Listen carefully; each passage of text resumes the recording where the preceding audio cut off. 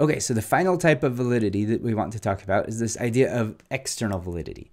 Um, and this is um, making sure that your study um, is generalizable to broader populations. And so this has nothing to do with the actual internal functioning of your study, making sure there's no selection effects or attrition or other things like that. This is making sure whatever finding you have can apply to other places. Um, so, are your findings generalizable to the whole population? And this is also tricky to do. Um, often in scientific experiments, you'll do an experiment on a limited sample of the population, and then you hope that you can roll that out to everybody and it'll have some sort of grand effect. Um, this is not limited to just social science. Um, biology does this too. You'll often see studies like this, like um, this study here from um, 2019 says that hospital lights increase the risk of dying in patients with heart disease. So, policy prescription from this is dim the lights in hospitals so that people with heart disease don't die as much? Sure. Um, the issue with that, though, is this study was conducted not on humans, but on mice. Um, and so, mice in a controlled laboratory situation that were given heart disease issues or who were bred for heart disease issues um, had a higher risk of dying if the lights were really bright 24 7. Which makes this policy prescription here saying dim the lights for heart attack patients. Um, that probably doesn't actually apply to humans. Um, there's this really cool Twitter account here called Just Say Just Says in Mice, where it finds or whoever's running this will find a study um, that looks like it's it's something generalizable and grand, um, but it was conducted in mice, and then they'll just tweet out like this was in mice, um, and so you might have some really cool finding, but you need to make sure it actually applies to the rest of the population. And this is kind of a big leap to make um, between mouse studies and people.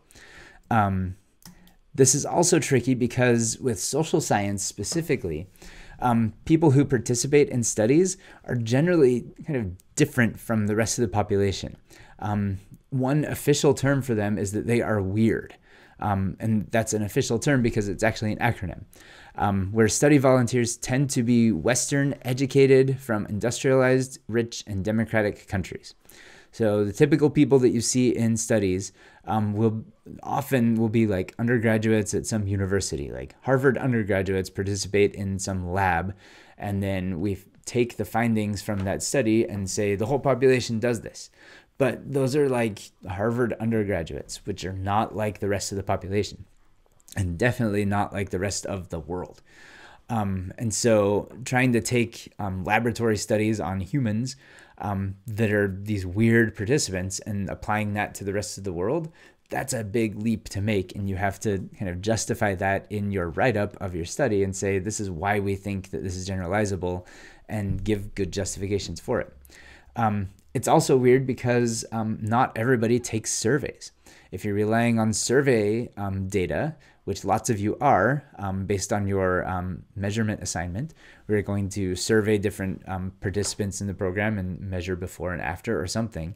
Um, people who take surveys are systematically different from people who don't take surveys, especially nowadays. There's this whole industry there's this website called Amazon Mechanical Turk, and there's a whole bunch of other similar ones where basically um, you can sign up right now if you really want um, at Mechanical Turk, and it's basically this giant list of tasks for people to do, and you can uh, you can accept to do a task, and generally they take like three minutes, one minute, five minutes, and it's a specific thing you do, and then you get paid at the end. You get paid like 50 cents a task, or 75 cents, or 10 cents, or whatever the task um, creator wants to pay you. And so often you can um, find people who want to complete these tasks. One of the tasks could be to fill out a survey, um, as a survey experiment that you have. Um, I have done this in um, one of my research projects. We found um, 500 or 600 people on Amazon Turk um, to take a Qualtrics survey experiment. Um, and we we found we did a whole bunch of different stats on uh, on the survey experiment. We created a treatment and control group. Um, it was really cool because we found those 600 people in like two hours. We listed it on on Mechanical Turk and just waited for the results to come in. And we paid everybody 75 cents for taking the survey. Um, and neat. But the issue there is the people who are sitting at home taking these MTurk surveys are way different from like people who don't sit at home and take MTurk surveys. Um, and so the the segment of the population that we picked up in this survey experiment isn't necessarily reflective of the whole population. Um, this happens with um, political surveys too. This idea of random digit dialing. Um, when you're doing some sort of presidential um, approval poll, or um, right now we have a presidential election where people are trying to find likely voters and how they're going to vote.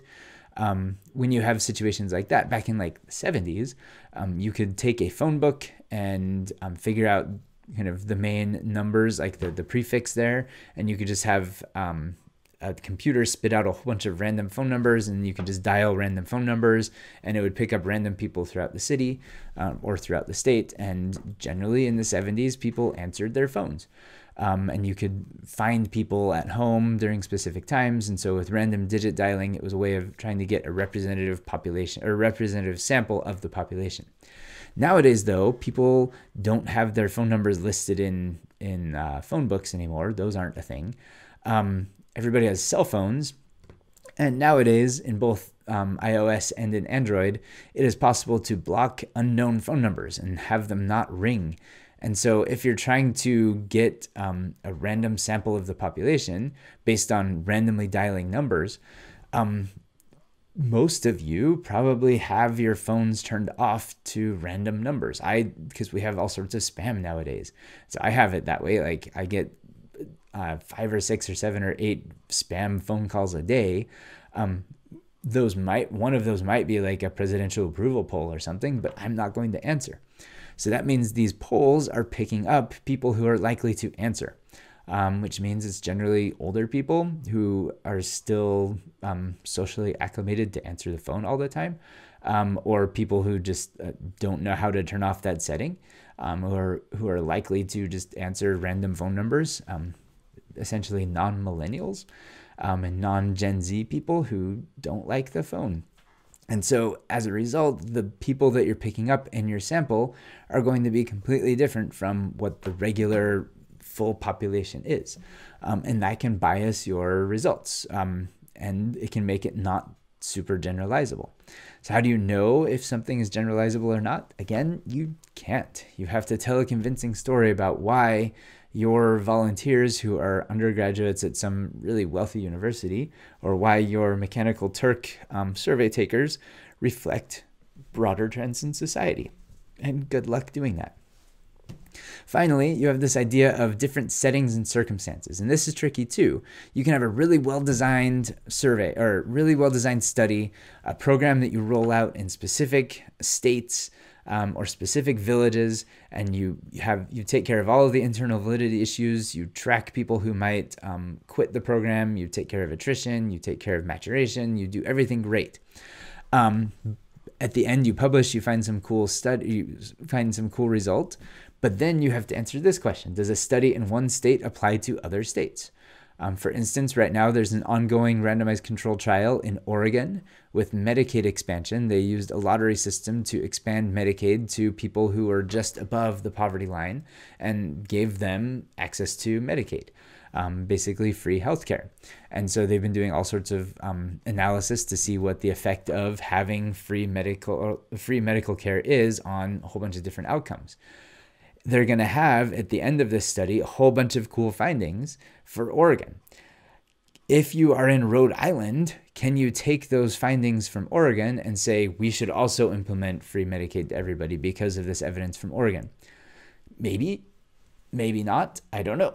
Um, that's up to you um, to make that call and to make that connection and to see if it is applicable.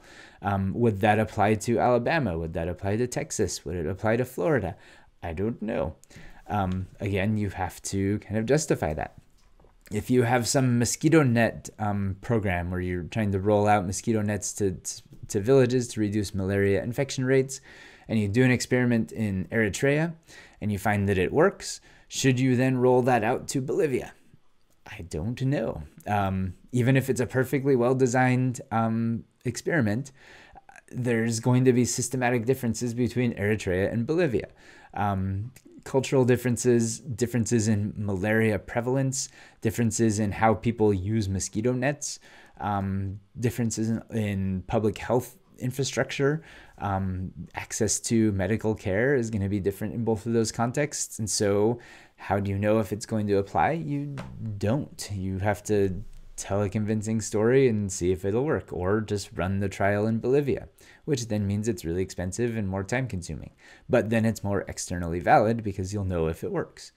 Um, so, again, with all of these situations, there's no good solution. Um, there's no magic test you can do with R to check for external validity. Um, you just have to justify it well, and it's it's mostly a, an issue of, of logic and philosophy and a good story and a good argument. So, good luck doing that. There's no easy way to do it, but that's what has to happen.